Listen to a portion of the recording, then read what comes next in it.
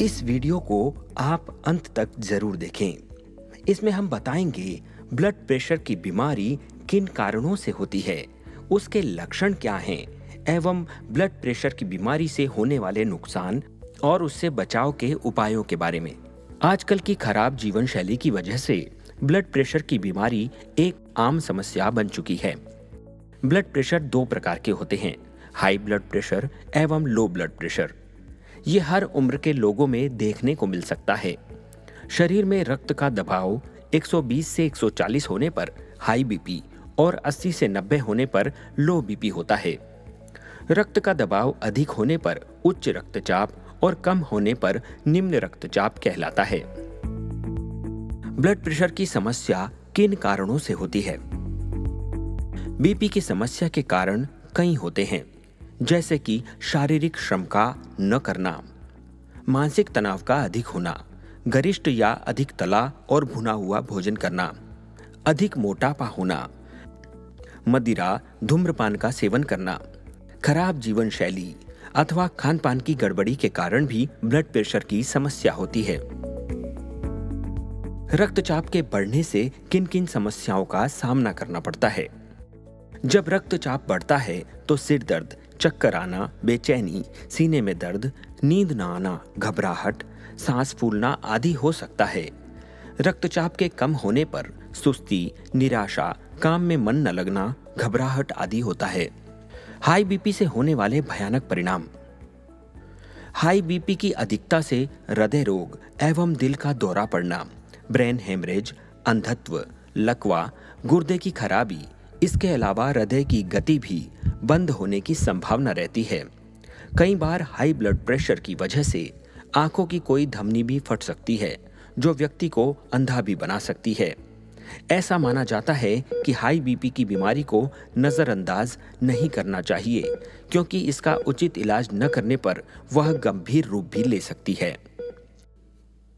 आइए अब जानते हैं हाई बीपी के लक्षण क्या क्या हैं। नर्वस सिस्टम का कमज़ोर होना।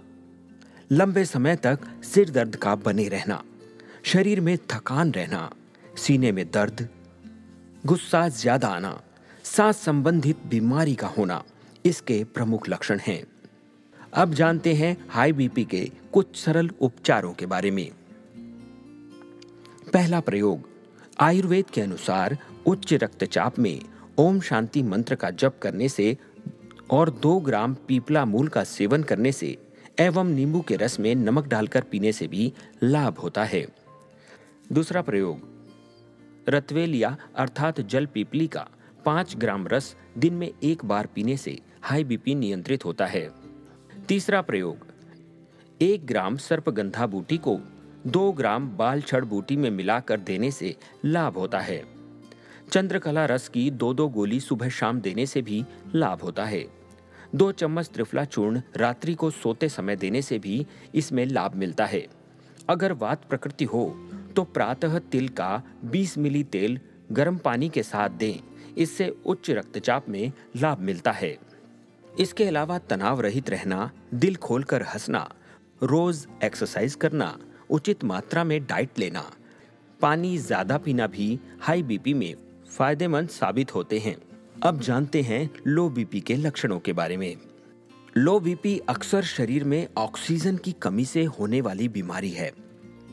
ऐसे में दिल को रक्त पंप करने में दिक्कत होती है, जिससे स्थिति कई बार जानलेवा भी हो जाती है। लो बीपी में विशेषकर वृद्ध लोगों में भ्रम का होना भी पाया गया है। ठंड ज़्यादा लगना, निरंतर बार बार सर्दी होना, चिपचिपापन, पीली त्वचा तीव्र उथली श्वास, कमज़ोर और तेज नाड़ी स्पंदन का होना, चक्कर आना या घबराहट महसूस होना, शरीर में थकान रहना, फोकस की कमी होना, ज़्यादा प्यास लगना, धुंधला दिखाई देना, सीने में दर्द होना आदि लो बीपी के लक्षण माने गए हैं। लो ब्लड प्रेशर का शरीर पर क्या प्रभाव पड़ता है? लो ब्लड प्रेशर की स्थिति में शरीर के अंगों में सही तरह से खून की सप्लाई नहीं होती है। जिससे stroke heart attack kidney failure तक होने की संभावना भी होती है। आम ज़िंदगी में बीपी ज़्यादा कम हो जाने पर रोगी बेहोश हो सकता है। अचानक अचेत होने पर उस इंसान के सिर में गंभीर चोट आ सकती है। ऐसे कई मामलों में ब्रेन हेमरेज होने के भी केस देखे गए हैं। अब जानते हैं लो बीपी से बचाव एवं कुछ आयुर्वेदिक उपचारों के बारे में। लो बीपी में लंबे समय तक भूखे न रहें, नमक का सेवन करें, तुलसी के पत्तों को पानी में उबालकर पिए, आंवले के रस में शहद मिलाकर सेवन करें, टमाटर के रस में काली मिर्च मिलाकर पीने से भी लाभ होता है। लो बीपी में लहसुन की कलियों को छिलकर चार पाँच दिन धूप में सुखाकर कांच की बरनी में भरकर ऊपर से शहद डालकर रख दें। पंद्रह दिन के बाद लहसुन की एक दो कली को एक चम्मच शहद के साथ चबाकर एक गिलास ठंडा दूध, जो कि फ्रिज में रखकर ठंडा न किया गया हो, ऐसा दूध पीने से दोनों प्रकार के ब्लड प्रेशर में लाभ होता है। रुद्राक्ष की माला पहनने से भी हर प्रकार के ब्लड प्रेशर में लाभ होता है। आयुर्वेद के अनुसार, हाई बीपी और लो बीपी वास्तव में कोई रोग ही नहीं है। अपितु शरीर के किसी अन्य रोग के लक्षण हैं। इसमें सर्वप्रथम तो घबराना नहीं चाहिए। हर रोज बीपी की एलोपैथिक गोलियाँ लंबे समय तक खाते रहने से लीवर और किडनी पर भी इसका खराब असर पड़ता है। स्वास्थ्य के ऐसे अनेकों उपायों के साथ हमारी फिर मुलाकात होगी। आप स्वस्थ और सुखी रहें, ऐसी हम कामना करते हैं। हमारे मंगलमय चैनल द्वारा ऐसे ही अनेकों स्वास्थ्यवर्धक उपाय हम आप तक पहुंचाते रहेंगे। मंगलमय चैनल को आज ही सब्सक्राइब करें, बेल आइकन को प्रेस करें, लाइक करें और शेयर करना ना भूलें। आप अपने विचार हमें कमेंट के माध्यम से भी बता सकते हैं। धन्यवाद।